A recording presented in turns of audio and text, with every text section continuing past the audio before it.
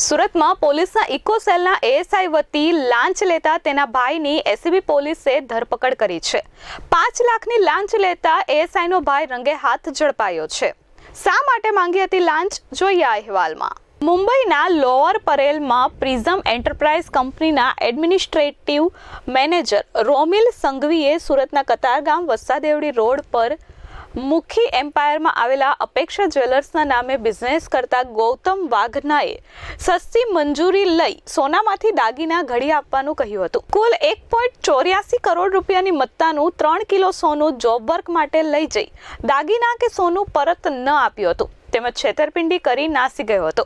જેની ફરિયાદ મહારાષ્ટ્ર એન એમ જોશી માર્ગ પોલીસ સ્ટેશનમાં નોંધાવાઈ હતી. જેની બાતમી ઇકોસેલના એએસઆઈ સાગર એસ પ્રધાનને મળતા તેમની ટીમ સાથે મળી મહારાષ્ટ્રના ગુનામાં સંડોવાયેલા વોન્ટેડ આરોપી ગૌતમ શિવદાસ દામોદર વાઘની ધરપકડ કરી હતી. આ ગુનામાં ઇકોસેલ દ્વારા ગૌતમભાઈના મુંબઈના ભાગીદારની પણ ધરપકડ કરાઈ હતી.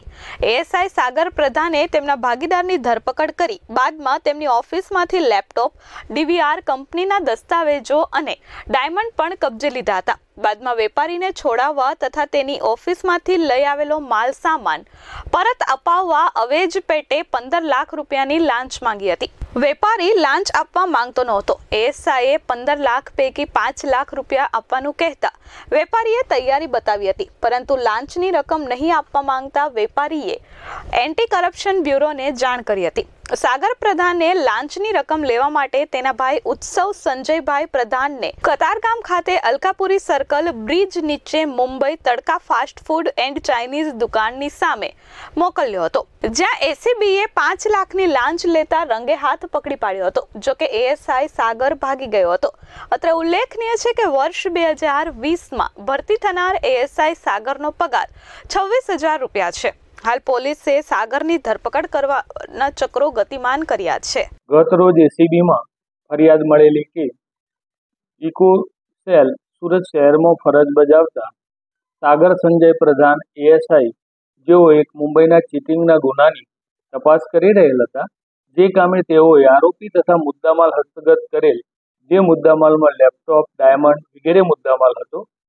જે મુદ્દામાલ છોડવાના અવેજ પેટે આ કામના ફરિયાદી પાસેથી તેઓએ પંદર લાખ રૂપિયાની માગણી કરેલી અને એ પંદર લાખ પૈકી પાંચ લાખ રૂપિયા લેવા માટે તેમના ભાઈ ઉત્સવ સંજય પ્રધાનને તેઓએ ગતરોજ મોકલેલ જેઓ પાંચ લાખ રૂપિયા લેતા રેડ હેન્ડ પકડાઈ ગયેલ છે અને આ બંને ઇસમો વિરુદ્ધ કાયદેસર કાર્યવાહી કરી અને તપાસ હાથ ધરવામાં આવેલ એ આ તબક્કે ન કહી શકાય, પરંતુ તપાસમાં અમે તમામ મુદ્દા આવરી લઈશું અને અમારી તપાસ બાદ જ એ વસ્તુ ખબર પડે કે ખરેખર આ પૈસાનો કઈ રીતે કોણ ઉપયોગ કરવાનો? Bureau report S twenty four news Surat.